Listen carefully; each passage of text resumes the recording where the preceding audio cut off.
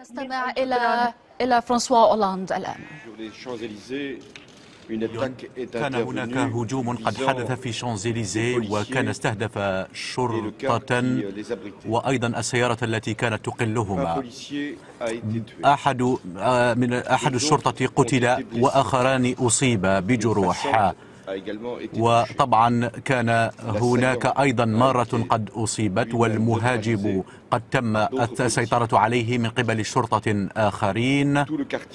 كل الشارع تمت محاصرته وإغلاقه وأولئك الأشخاص الذين كانوا هناك تم إخلاؤهم من المكان أو إجلاؤهم من المكان. ونحن مقتنعون بأن الطرق التي يمكن أن تأخذنا أو تذكر كل الحقيقة من خلال التحقيقات هي أن هذا الحادث إرهابي.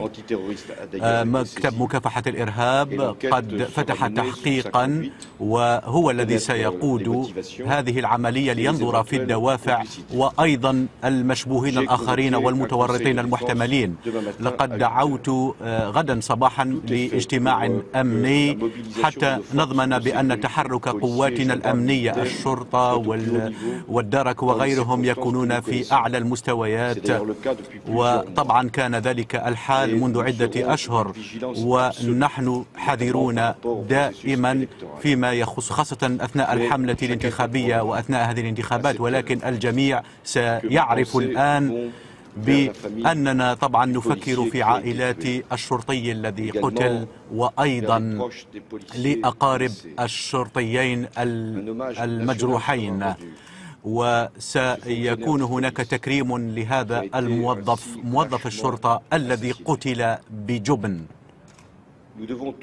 علينا كلنا أن ندرك بأن قواتنا الأمنية تعمل عملا صعبا للغاية وأنها معرضة للخطر ولقد رأينا هذا هذا المساء والوضع طبعا دائما صعب.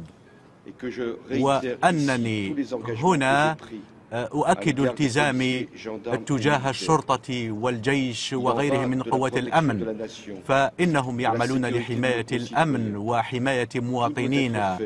فكل ذلك كل ما في وسعنا ينبغي فعله حتى ونقدم لهم طبعا كل الوسائل ليقوموا بعملهم وذلك طبعا في إطار احترام القانون وبثقة الوطن. هذه هي الرسالة التي أود آه، قولها اليوم. إذا هذه الرسالة ليست فقط لقوات الأمن إنها رسالة إلى الشعب إنهم مؤمنون ويجب علينا فعل ذلك وهم مؤمنون. وكل الإجراءات سنتخذها لفعل هذا ولكن المبدأ والقاعدة الذي ينبغي أن نذكره دائما هو الثقة والتضامن ودعم الوطن لقوات الأمن. هذه هذا هو تفكيري اليوم وطبعا بمأساة وخاصة بأولئك الذين قاموا بعملهم وأيضا لعائلات الشرطيين المجروحين وأيضا لعزمنا لفعل كل شيء حتى نكافح الإرهاب هنا وأيضا في كل المناطق التي ننخرط فيها. شكرا.